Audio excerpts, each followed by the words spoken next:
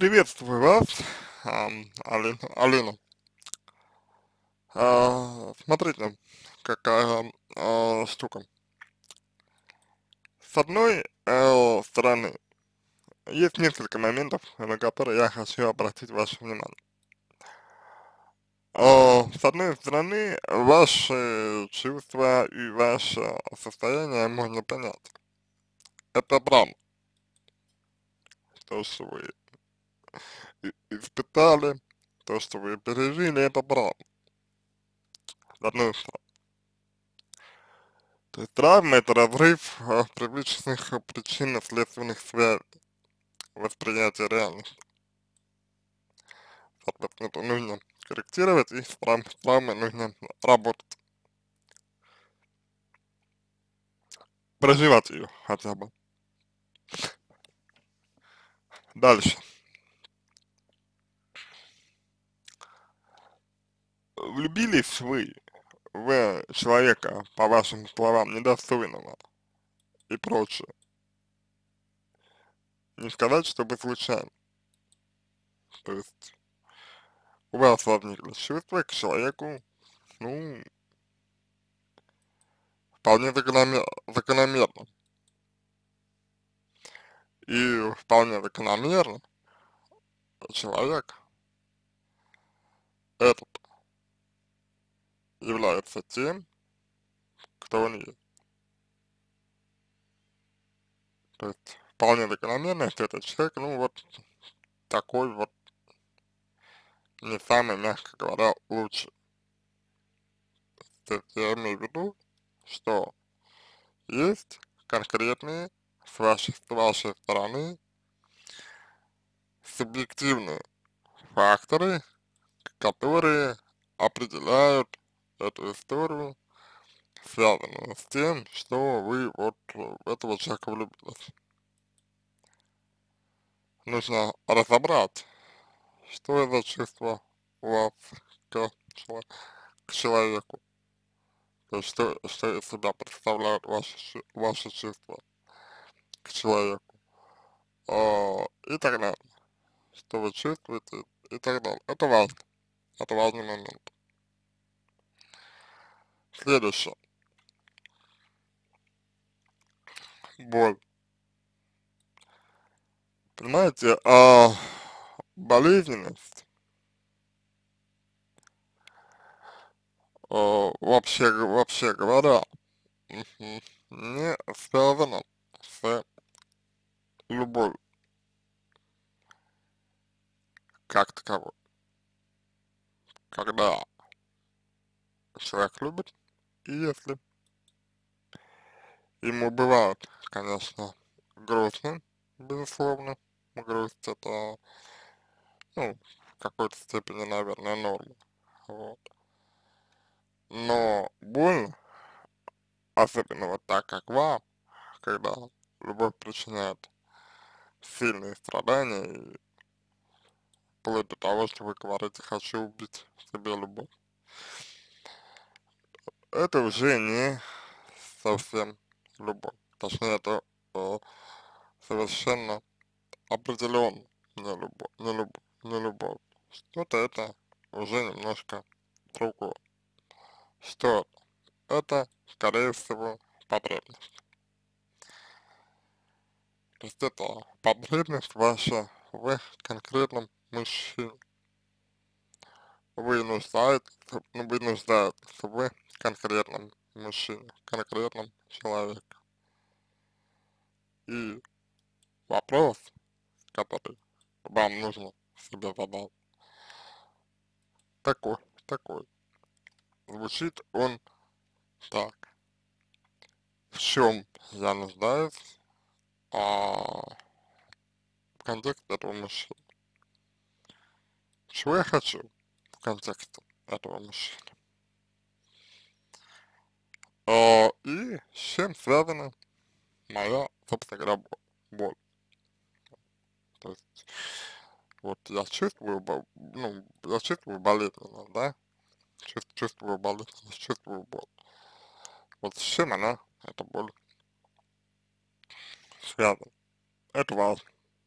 это важно для вас, это важно для лучшего понимания себя, для лучшего понимания своих переживаний.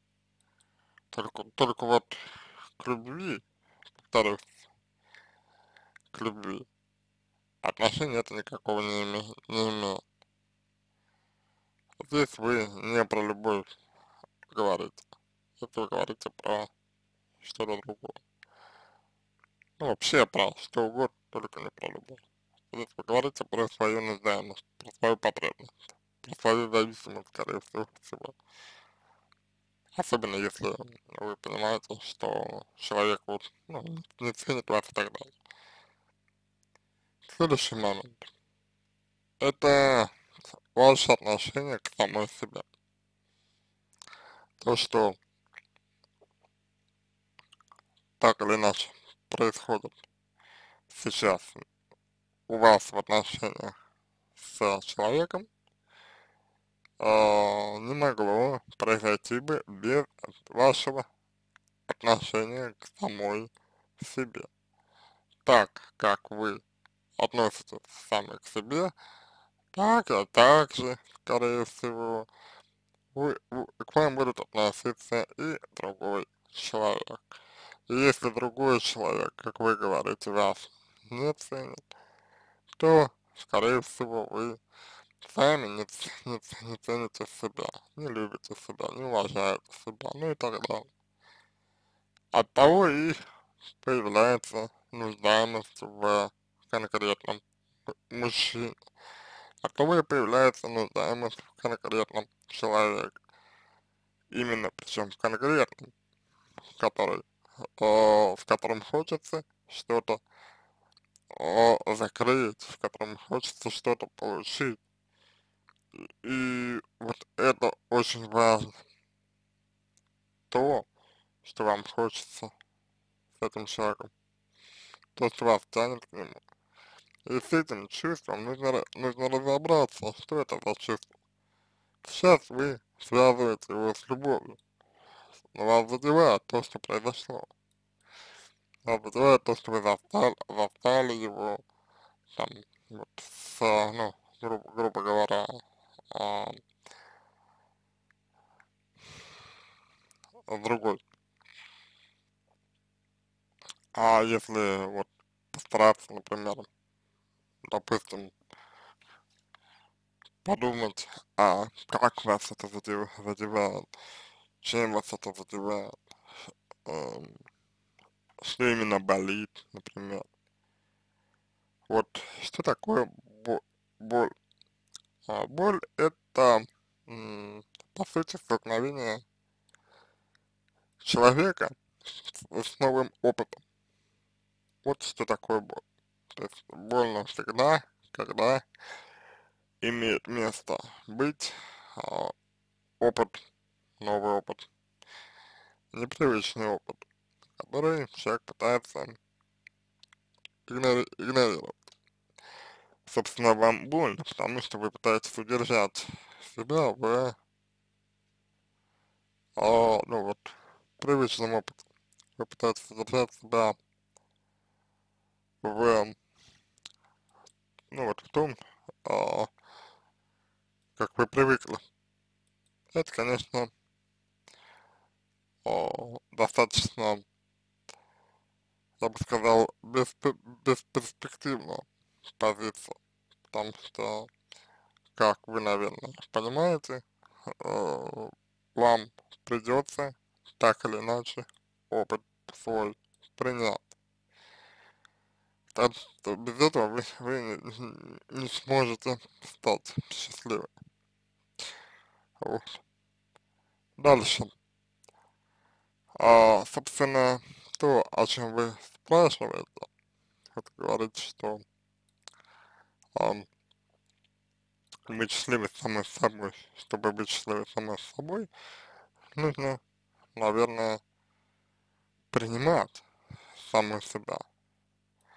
А вы, скорее всего, как раз таки сами себя не принимаете, либо у вас есть с этим серьезные проблемы, тем, что принять себя. И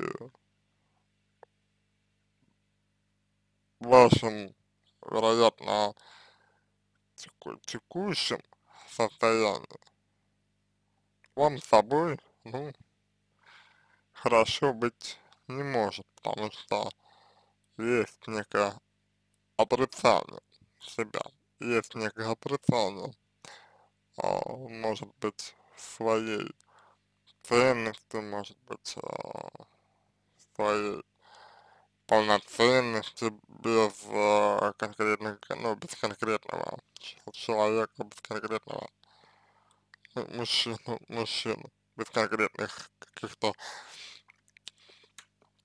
условий, которые должны быть соблюдены, соблюдены, чтобы вы чувствовали себя хор хорошо. Вот. Ну, а, последнее, наверное, что хотелось бы сказать, это то, то, что любовь, в первую очередь, есть принятие. Любовь, любовь это принятие. Вы же своего, своего, э, своего мужчину, ну вот, кого вы любите, вы э, не принимаете полностью, называя его достаточно, ну, скажем так, нелицеприятно. И это говорит о том, что вы его не смогли сказать, что вы любите. Нельзя любить человека, не принимая его, а вы его не принимаете полностью. Так что разобраться в своих чувствах, отделить одно от другого, вот, решить свои, свои внутренние проблемы, лич, лич, личностные проблемы, психологические, разрешить внутренние, внутренние конфликты, это то, что вам нужно сделать.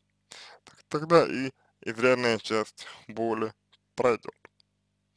Грусть, конечно, останется, но это уже будет не боль, не боль. На этом все. Я надеюсь, что помог вам. Желаю всего самого доброго.